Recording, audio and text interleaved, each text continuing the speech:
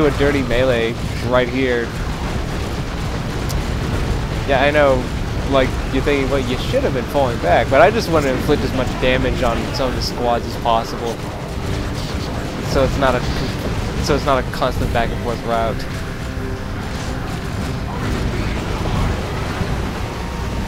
I did inflict quite a bit of losses there. I mean, I forced his Raveners back, I forced his Warriors back, I refused to yield the field to him, and his Hormagaunts just get melted away by the Bile Spewer. He is now Yeah. on his own. I mean, yeah, I mean, it was actually a good thing that I stuck it out, even though I took a few casualties, but I didn't lose anybody.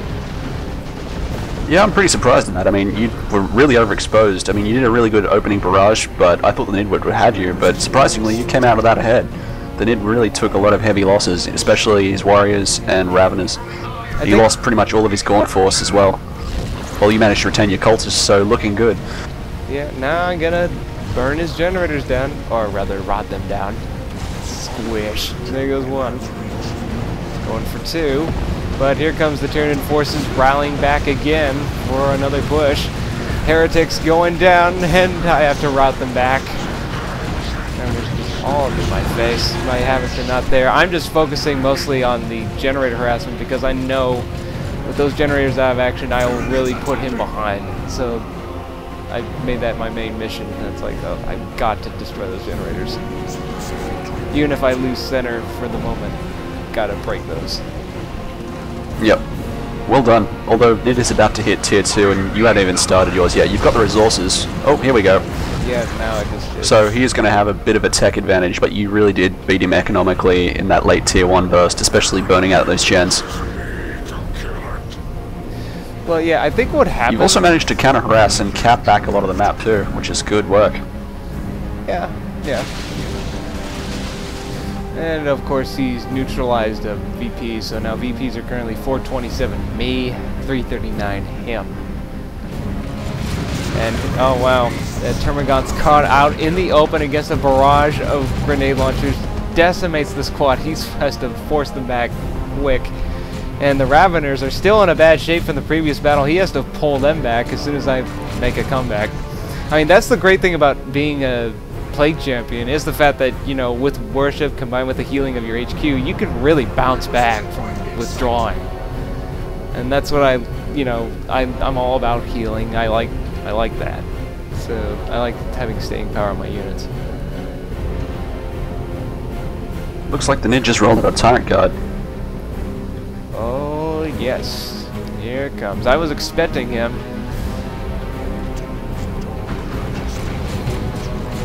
As soon as I saw him bring out a Tyrant Guard, I'm going, hmm, well, I'm pretty close to a Blood Crusher, so I better pull that up.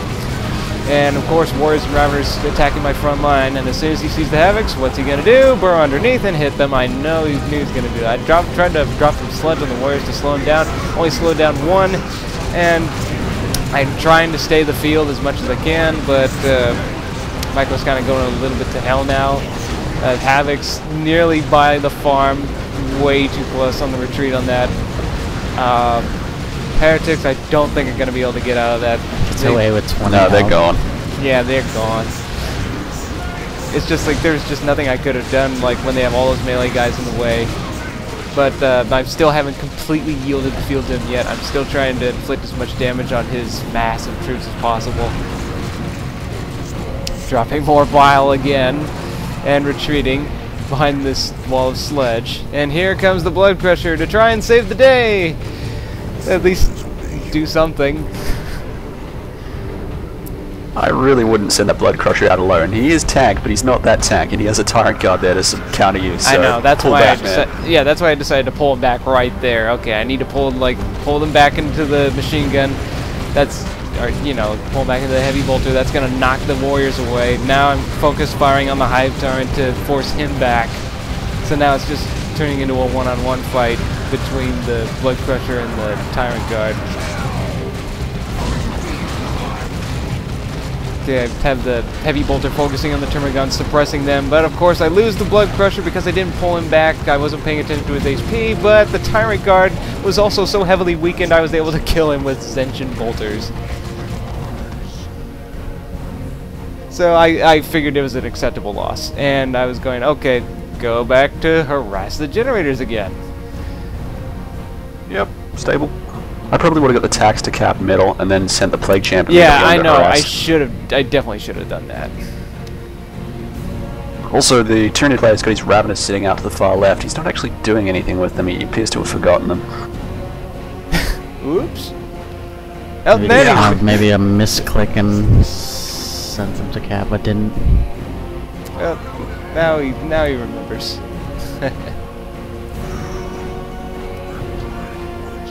uh, wow, he's just sitting there ready for ready for an attack. I know I have to bring out a unit that can just end this right now, but you know, otherwise, once again, going for the gen harassment now.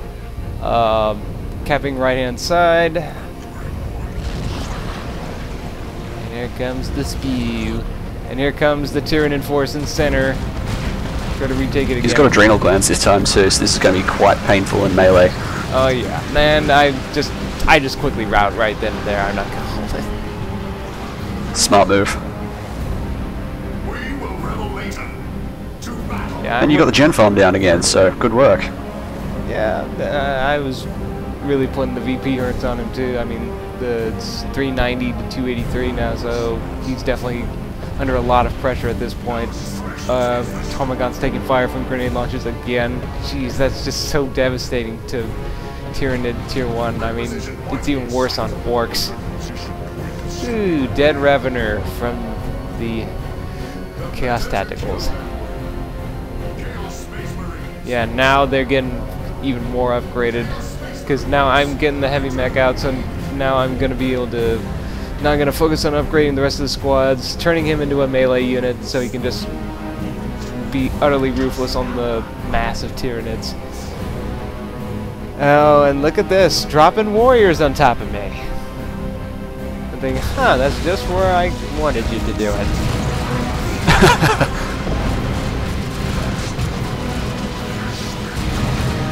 and, uh, yeah, engaging my front line, that's one dead bug. I dropped uh, a Noxious Cloud to try and inflict some extra damage, but he pulled back too quick, so it's like, oh, it was kind of a waste. On the other hand, he did try to charge your front line, which happens to be just outside your base, so he was going to lose that regardless. Oh, yeah. Not a smart move from the Nid. You think it would have been better or worse if you had put your uh, Havocs inside that civilian structure to the right of your base? Um, debatable, really. I mean, it would have probably narrowed your firing arc quite a lot. It might have given them a bit of safety from melee charge, but they did pretty well the way it was. I mean, he dropped his warriors in in front of your Havocs as opposed to behind them. Yeah, now I got my huge uh, dreadnought bodyguard there to protect me from this massive swarm. Here they come. Good. Him upgrading all these warriors with uh, claws for anti-tank, but once you set that dreadnought into berserk mode, I mean, he can take so much damage and deal so much damage. He becomes and you just throw him in the midst of a massive horde like this, and he just goes nuts. Oh, and yeah, I popped uh, Undeath there, or I, I forget what that ability is called, but you know, it raises their dead as undead, but uh, it was kind of a waste. I was just like, oh, because he retreated so fast and I wasn't able to kill enough. So it made no look a difference. Like, damn it. As nasty as it sounds, you probably could have thrown that Dreadnought straight into his base there and just kept sync killing his warriors all day. Uh, I didn't want to risk Because it. he doesn't have any proper AV. I know, I know. I just didn't want to risk it. Uh, because you never know when they have some sort of trump card. Or something uh Yes, but you're Chaos. Yes, and I'm overpowered. Apparently. Yes! Uh The still doesn't have his power farm back up. He's trying to build some Venom Brood right now, which he really should have had a bit earlier. That would have helped him out immensely versus that Dreadnought. Well yeah, he's definitely spent way too much into the warriors, like upgrading them with uh, the ability to break armor. It's just uh, but against the dreadnought that just doesn't work. Well not Adrenal glands are good, but they're not that good.